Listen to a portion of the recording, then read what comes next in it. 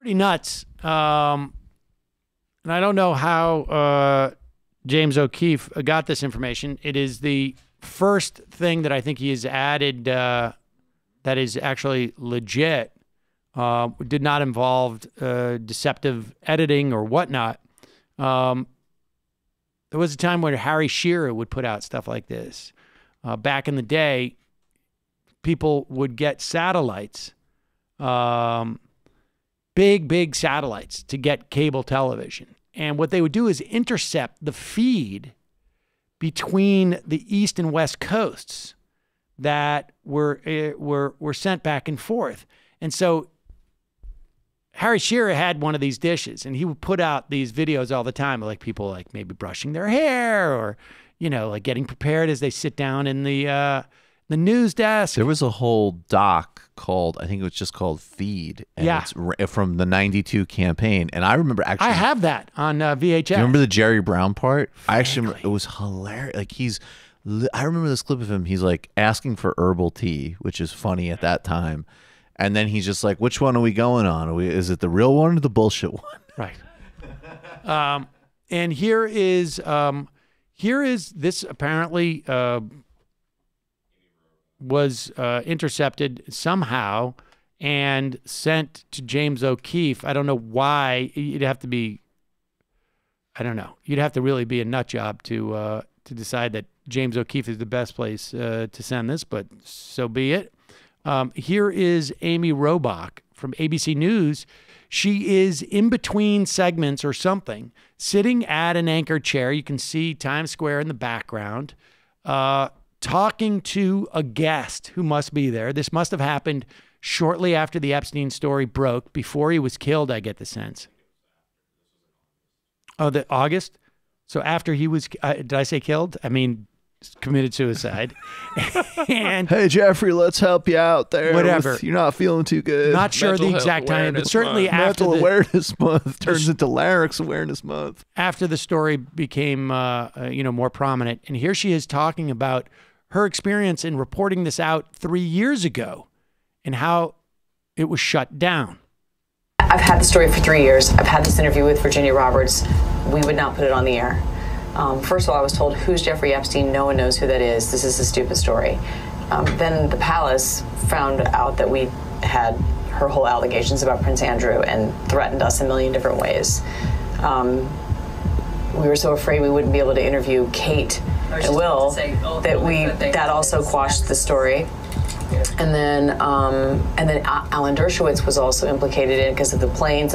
She told me everything. She had pictures. She had everything. She was in hiding for 12 years. We convinced her to come out. We convinced her to talk to us. Um, it was unbelievable what we had. Clinton. We had everything. I, I tried for three years to get it on to no avail, and now it's all coming out, and it's like these new revelations, and I freaking had all of it.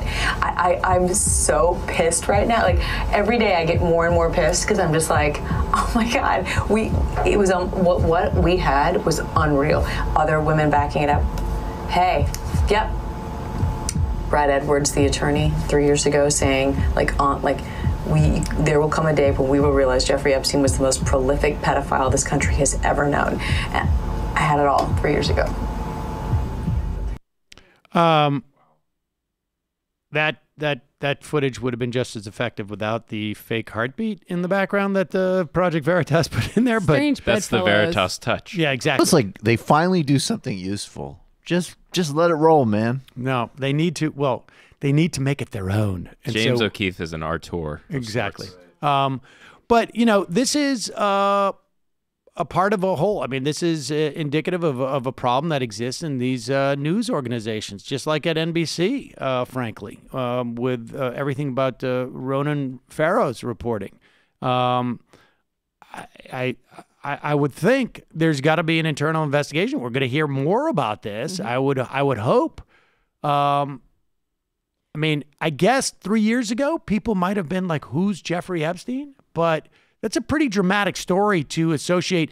We may not know who Jeffrey Epstein is, but you certainly know who uh, the Prince of uh, England is. Yeah, you I certainly I- know who Bill Clinton is, and you certainly know all the other, um, you know, wealthy people that are involved in this.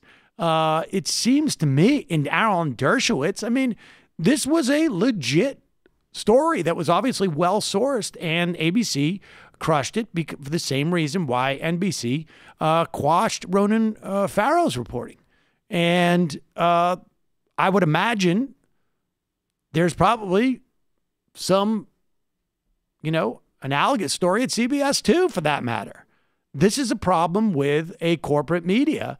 Uh, and I, I mean, I think uh, it's clear.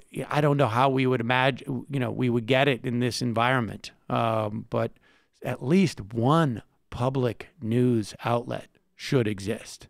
Uh, they seem to be able to manage it in uh, in in England. So Yeah, and if this is coming to the surface now, imagine all of the stories that we still don't know about. Of course, of course. There's probably a dozen uh, different uh, stories like this at these news outlets.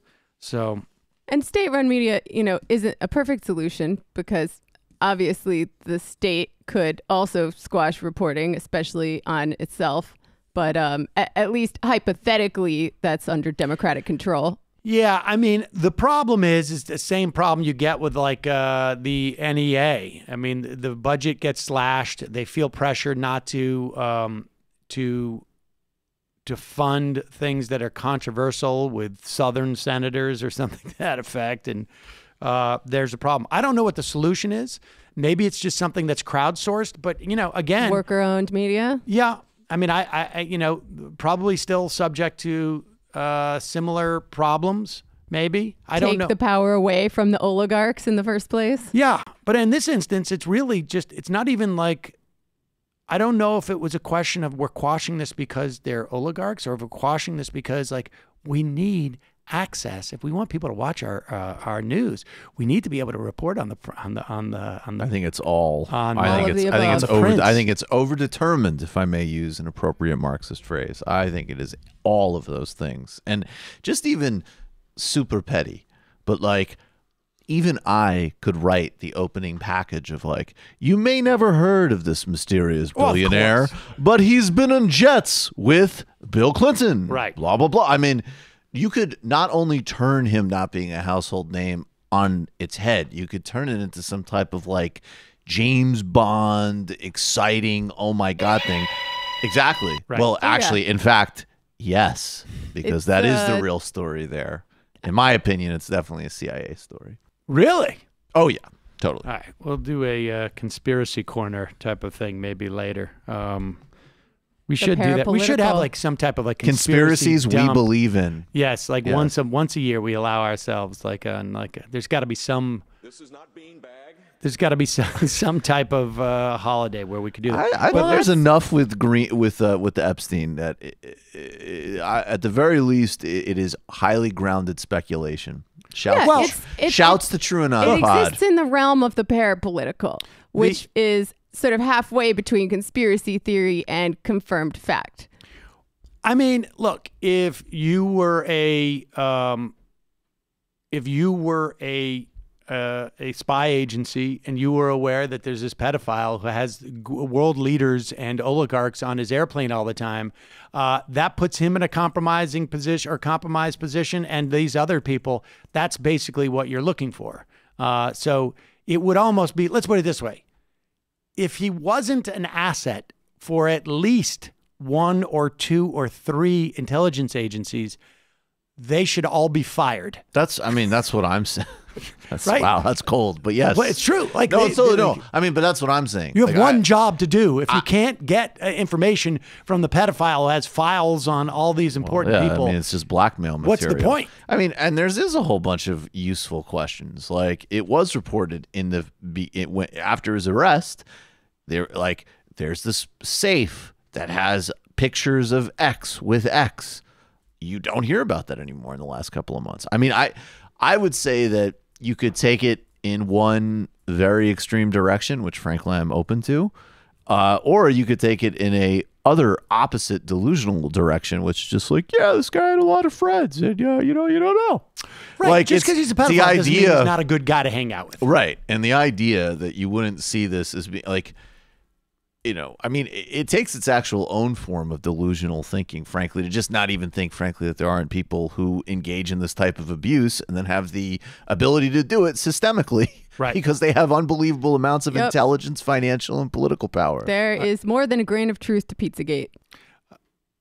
Well, I- Pizzagate is no pizza. It, it, look, if I was to go in this direction for real, I would suggest that things like Pizzagate are the disinfo to keep us from this. There's actually new, real quick. I mean, they, they just put out this shocking thing, which I have to look into more. But it was like a, a pedophile story that might have involved the FBI, something in a similar vein. And the and what you could read potentially from the documents is that part of the whole like satanic abuse scare of the 80s is people being like, let's turn this into a really bizarre.